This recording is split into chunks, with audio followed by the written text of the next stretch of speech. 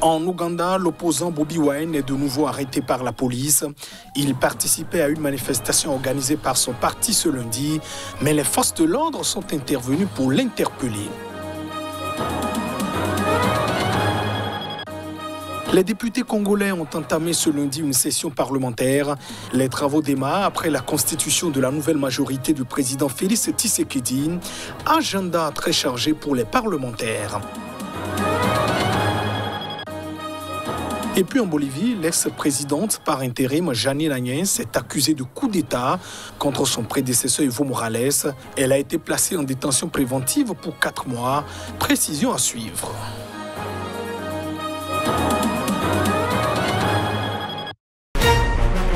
Annonceurs, entrepreneurs, promoteurs et chefs d'entreprise, choisissez dès à présent votre meilleur partenaire média, Idéal Production. Idéal Production est basé à Cotonou au Bénin. Idéal Production, le partenaire exclusif de Sika TV en Afrique. Et voilà pour le sommaire de ce journal. Bienvenue dans cette édition. Direction l'Ouganda où l'opposant Bobby Wine est de nouveau arrêté par la police ce lundi. Le chanteur populaire et candidat malheureux à la présidentielle de janvier dernier manifestait ce jour contre le président Yoweri Museveni. Plus d'une quinzaine des députés de son parti euh, ont aussi pris part à la marche. Les détails dans ce élément. Bobby Wine avait appelé la semaine dernière la population à se soulever pacifiquement et à manifester contre Yoweri Museveni, qui dirige ce pays d'Afrique de l'Est depuis 1986. Le député de 39 ans dénonce une mascarade lors de l'élection du 14 janvier dernier. Bobby Wine a été arrêté alors qu'il était à la tête d'une manifestation pacifique de députés et d'autres leaders contre l'enlèvement, la torture et le meurtre de ses partisans. Nous sommes non violents. Comment pouvez-vous kidnapper le peuple ougandais? Ils sont torturés, ils sont assassinés. Nous sommes non violents.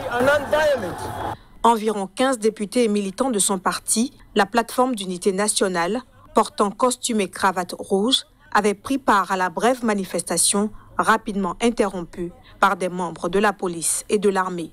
Bobby Wine a d'abord été emmené à un poste de police avant d'être conduit dans un véhicule de police à son domicile en périphérie de Kampala, qui est maintenant encerclé par la police et l'armée, selon son compte Twitter. Wine a été assigné à résidence pendant près de deux semaines après le vote, jusqu'à ce que la justice ordonne sa libération. En novembre, durant la campagne électorale, de précédentes manifestations contre une énième arrestation de Wine avaient été violemment réprimées par les forces de sécurité faisant au moins 54 morts. L'opposition affirme que depuis l'élection, les forces de sécurité ont enlevé plusieurs de ses partisans. Les Centrafricains ont voté pour le second tour des législatives, mais aussi pour le premier tour.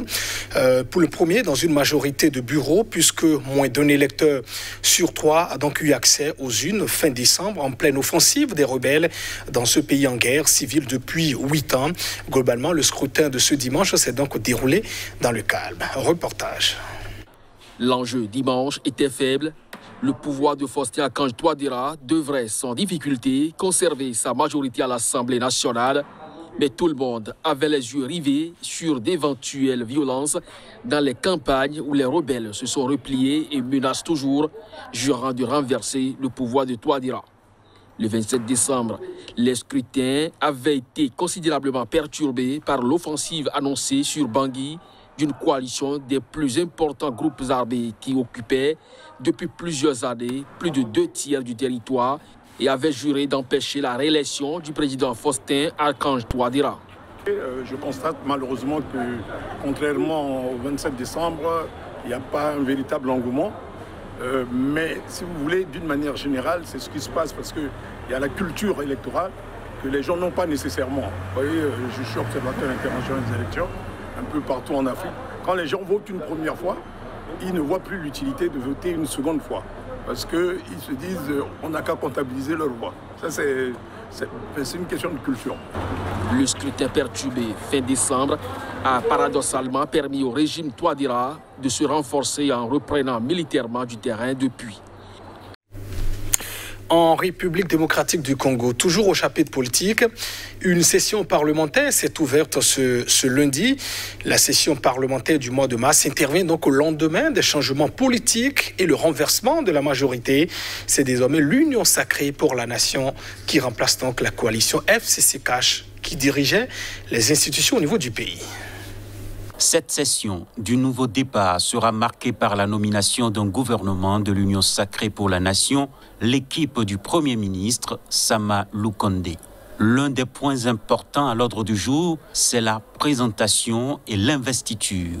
Le Premier ministre déjà nommé a eu à consulter les différentes composantes de la société congolaise, acteurs politiques, membres de la société civile et autres personnalités qui ont adhéré à la vision du président Félix Tshisekedi. D'autres points sont à l'ordre du jour et ils risquent d'être clivants, notamment sur le renouvellement de la Commission électorale nationale indépendante. La question est en discussion au Parlement depuis le mois d'octobre. Les différentes composantes de la société civile ne sont pas parvenues à un accord sur un nom. Un responsable d'une confession religieuse demande d'avoir plus de visibilité sur cette question et dénonce la tentative du FCC d'imposer Ronsa Malonda par le biais des églises du réveil. D'autres préalables, comme le recensement ou l'identification de la population, sont attendus pour des élections de 2023.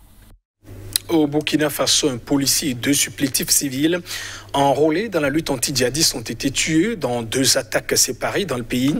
Les policiers effectuaient donc une mission de reconnaissance après le signalement de la présence d'individus armés non identifiés dans la zone, une zone qui connaît également une recrudescence du grand banditisme. Au Burkina Faso, un binôme de policiers a été pris pour cible samedi lors d'une embuscade dans le sud-ouest du pays, dans une région frontalière de la Côte d'Ivoire et du Ghana, selon une source sécuritaire. Les policiers effectuaient une mission de reconnaissance après le signalement de la présence d'individus armés non identifiés dans la zone, qui connaît également une recrudescence du grand banditisme. Dans la même journée de samedi, des individus armés ont attaqué un groupe de volontaires pour la défense de la patrie à Rofenenga, localité située près de Kaya, cette fois dans le centre-nord du pays. Le bilan de cette attaque contre une base des volontaires est de deux décès et un blessé. Mise en place en décembre 2019, les volontaires pour la défense de la patrie sont des civils recrutés dans leur zone de résidence pour participer à la lutte anti-djihadiste. Après une formation militaire de 14 jours, ils exercent des missions de surveillance, d'information et de protection. Ils font également office de pisteurs et combattent souvent aux côtés des forces de défense. Le 6 mars, un soldat et cinq de ses supplétifs civils ont été tués lors d'une embuscade contre un détachement militaire dans le nord du pays. Au Nigeria, une embuscade djihadiste contre un convoi militaire dans l'état de Borno. Nous sommes dans le nord-est du pays, a fait 19 morts. Euh, L'attaque est revendiquée par le groupe État islamique en Afrique de l'Ouest. Les détails dans ce télébat. Encore les mois au sein de l'armée nigériane, 19 tués, soit 15 soldats et 4 miliciens pro-gouvernementaux. Tous ont péri dans une embuscade djihadiste contre un convoi militaire dans l'est de Borno, au nord-est du pays. Nous avons perdu 15 soldats et 4 membres des JTF, milices locales, dans cette embuscade terroriste menée dans la forêt près de Gutumbali, a déclaré un officier s'exprimant sous couvert d'anonymat. 13 autres membres du convoi, dont 10 soldats, ont été blessés dans l'attaque. Le convoi d'une dizaine de véhicules se rendait dans des localités de Gutumbali à Koukaya pour prendre part à une opération militaire quand il est tombé dans une lourde embuscade selon une autre source qui a fait état du même bilan. Les victimes ont été ramenées dans la ville de Maïdougouri, capitale régionale de l'État de Borno, a précisé cette seconde source. L'un des leaders des JTF, Ouma Hari, a lui aussi confirmé ce bilan, précisant qu'un responsable de cette milice, Youssouf Baba Idriss, patron des JTF à Koukaya, faisait partie des quatre miliciens tués. Dans un communiqué rendu public, l'ISWAP, groupe État islamique en Afrique de l'Ouest, a revendiqué l'attaque, affirmant avoir tué 33 membres du convoi et fait un prisonnier, tandis que les survivants ont pris la fuite. Le groupe affirme également avoir détruit quatre véhicules militaires, en avoir saisi sept autres, ainsi qu'un grand nombre d'armes et de munitions. L'ISWAP, affilié à l'État islamique, l'EI, a fait sécession de Boko Haram en 2016 et s'est retranché essentiellement dans la zone du lac Tchad, région frontalière stratégique aux confins du Nigeria, du Tchad, du Cameroun et du Niger. Débuté en 2009, le conflit a fait près de 39 000 morts et près de 2 millions de déplacés dans le nord-est du pays, selon l'ONU. En Bolivie, la justice a ordonné la mise en détention préventive pour quatre mois de l'ex-présidente par intérim Janine Agnès, arrêtée accusée de coup d'État contre son prédécesseur Evo Morales. Janine Agnès a annoncé la décision prononcée par un juge sur son compte Twitter.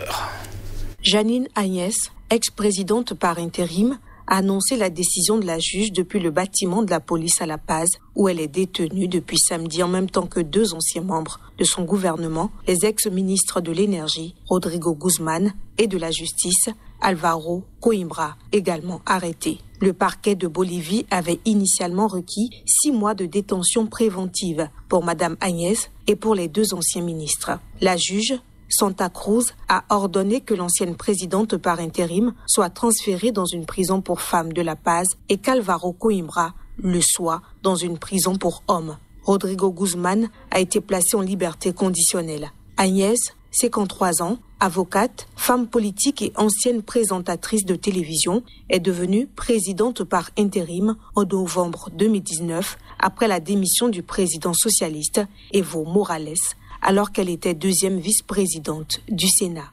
Lors d'un bref contact avec la presse dimanche, avant l'annonce de son placement en détention préventive, elle a déclaré qu'avec les mesures prises contre elle et contre ses anciens collaborateurs, on fait reculer l'état de droit en Bolivie. L'enquête du parquet, ouverte pour sédition, terrorisme et conspiration, fait suite à une plainte déposée en décembre par Lydia Patti, ancienne députée du mouvement vers le socialisme, le parti d'Evo Morales et de l'actuel président bolivien. La mise en cause de l'ex-présidente et de ses collaborateurs suscite depuis samedi de nombreuses réactions en Bolivie et à l'étranger. L'influente conférence épiscopale de Bolivie a réclamé la mise en liberté immédiate des personnes arrêtées. L'ancien président bolivien, Carlos Mesa, a lancé un appel aux organisations internationales en les alertant sur la situation en Bolivie. Le secrétaire général de l'ONU, Antonio Guterres, a appelé au respect de procédures équitables et d'une transparence totale. Et c'est la fin de cette édition. Merci de votre attention. Au revoir.